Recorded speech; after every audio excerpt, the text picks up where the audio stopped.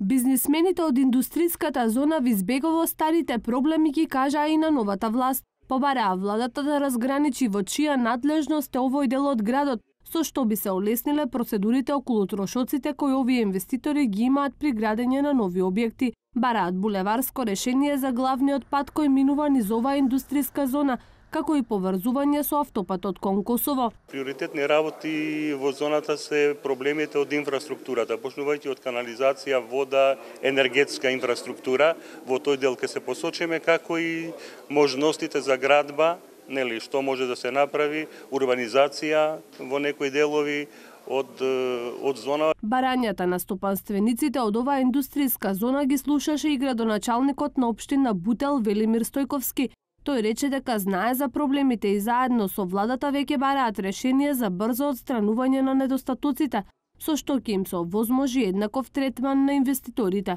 Во буџетот за 2018 година влегуваат инфраструктурата во економската зона Визбегово, потоа со убрзување на процесот носење на гасификација во, во Визбего. Првично треба да се изработи еден план за поставување на целосна атмосферска и фекална канализација, доведување на водовод кај што во моментот го нема, поставување на нови